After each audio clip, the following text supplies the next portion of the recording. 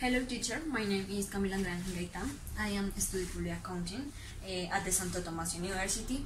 Um, I am in sixth semester.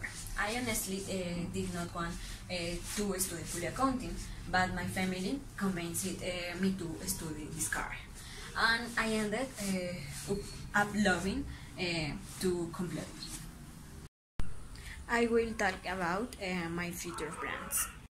From the first day I entered college, I had goals planning for my life, but I knew that to achieve them I needed my career uh, to go very well.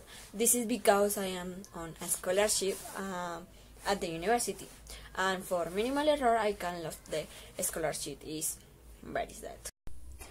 That was why from the beginning the phrase no one is safe from defeat, but it's better to lose some fights in the fight for our dreams than to be defeated without even knowing what are fighting for was engraved in my mind. In the end, they will understand why it is so important to finish my degree in the best way to able to fulfill my plans for the future. My future plans are 1. Finish my university degree with honors.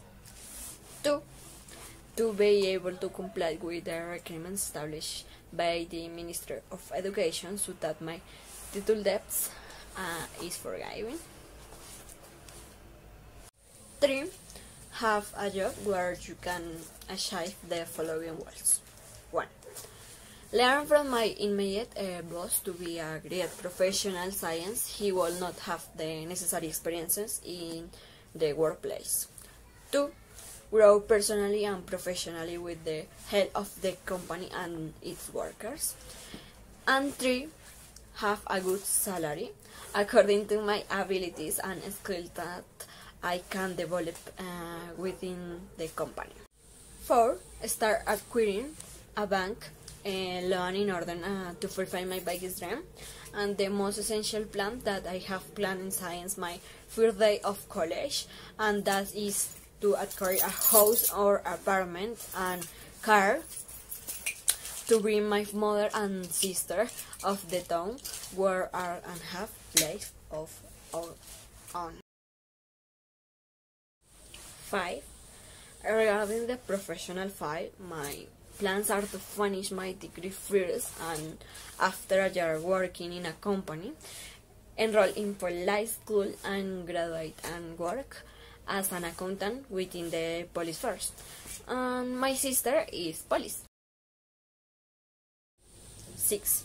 After having a stable economic life, when my professional plans are fulfilled, when I manage to buy the house and car for my mother, at that moment I will fulfill my personal plans, which are to get a stable partner, uh, have a children, and buy a good home is my dream.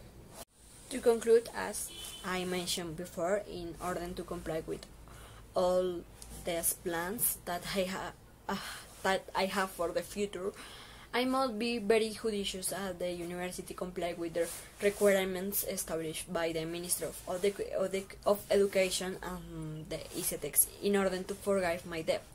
And as soon as I left the university, I do not have any type of deal with the state, and I only think about complying with uh, my established plans from the moment I enter the university.